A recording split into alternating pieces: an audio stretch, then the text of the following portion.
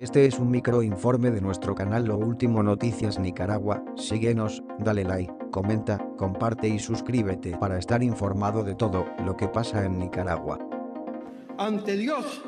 Daniel Ortega inició su cuarto mandato consecutivo a cargo de Nicaragua en medio de acusaciones de la Oficina de la Alta Comisionada de Derechos Humanos de Naciones Unidas por violaciones de derechos humanos, detenciones arbitrarias, censura, acoso a la prensa, entre otras.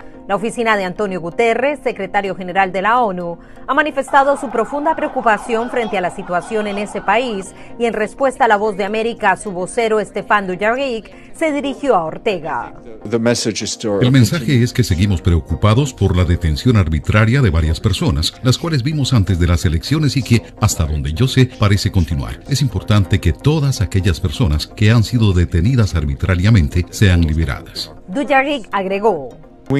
Alentamos al gobierno a que, en el frente de los derechos humanos, coopere con los mecanismos de derechos humanos pertinentes, incluido el Consejo de Derechos Humanos. El gobierno de Ortega ha rechazado continuamente las acusaciones incluidas en los reportes de la oficina de Michelle Bachelet. Aún así, Nada al-Nashif, alta comisionada adjunta para los derechos humanos, en su último reporte insistió en el cumplimiento de los acuerdos internacionales.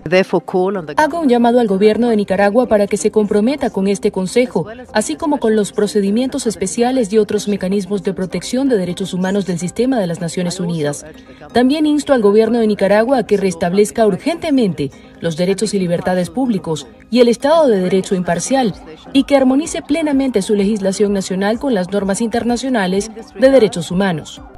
El vocero del secretario general manifestó que mantiene la esperanza de que el pueblo de Nicaragua pueda restablecer el espacio que pertenece a la sociedad civil y garantizar la libertad a discernir. Celia Mendoza, Voz de América, Naciones Unidas.